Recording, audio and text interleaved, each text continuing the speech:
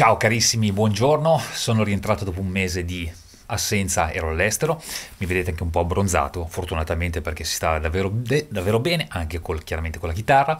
Eh, vediamo questa intro di un brano molto importante di Ingrid Malmsteen, eh, che comunque, eh, diciamo così, mh, è utile per la eh, memorizzazione le forme e l'utilizzo degli arpeggi che la settimana prossima poi vedremo. Vediamo un attimino.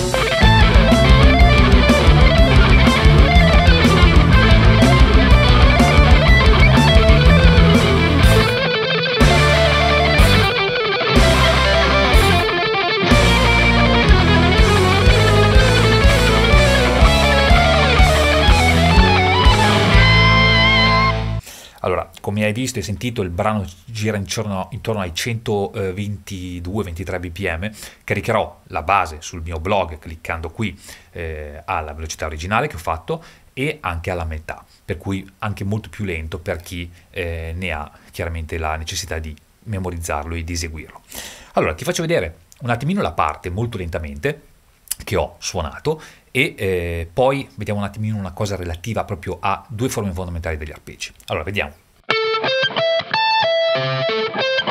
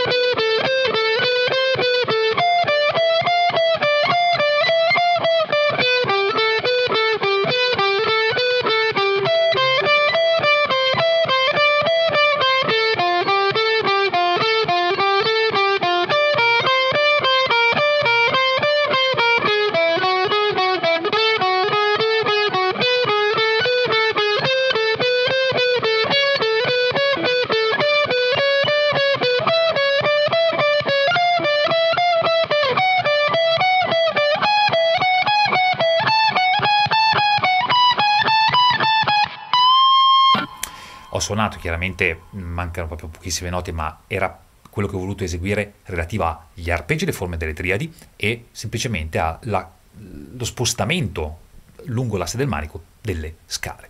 Allora, vediamo molto lentamente, per cui la parte che noi abbiamo suonato inizialmente, che è l'arpeggio dell'accordo di la minore. Fondamentalmente noi andiamo a vedere semplicemente la triade, cioè ovvero questa è la nostra triade in questa posizione. La nostra triade in questa posizione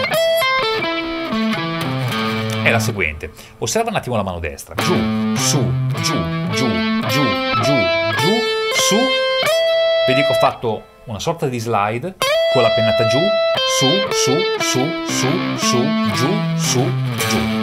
Questo ci consente di avere una sorta di loop dello spostamento della mano sinistra lungo l'altra parte delle triadi, che non sono nient'altro che vedi triade minore, chiaramente triade minore, triade minore e si ricollega a questa parte.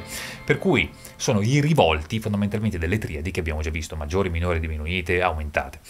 Allora, lo rifaccio un attimo lentamente senza fermarmi.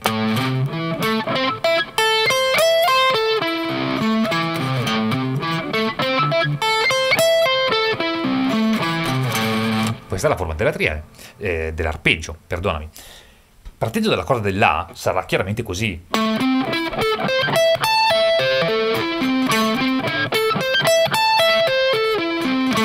Ok?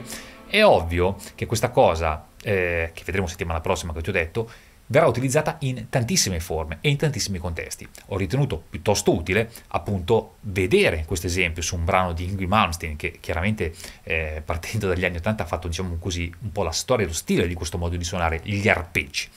Eh, vediamola adesso invece, mh, sempre l'esecuzione, molto lentamente Cliccando sempre qua ti ricordo di scaricare la backing track. Ti chiedo sempre di mettere un mi piace se ritieni opportuno e utile per te, anche se non sei un mio studente diretto e lo vuoi diventare.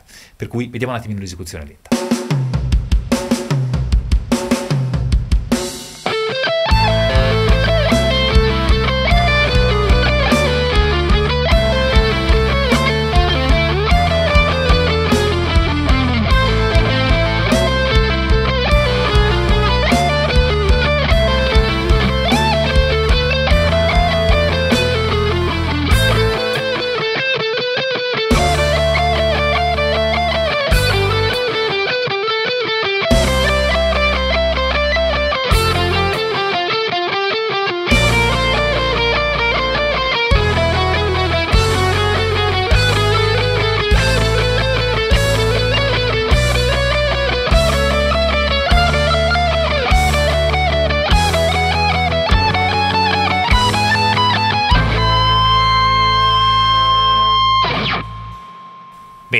Vedi l'ho eseguito molto molto lentamente, cliccando con, sempre qua ti ricordo, vai a scaricare la parte così lenta come l'ho fatta e ci vediamo settimana prossima per vedere determinate cose degli arpeggi e improvvisazione, grazie allo studio e l'assimilazione di determinate frasi, cosa che ripeto spesso, ok? Settimana prossima, ciao!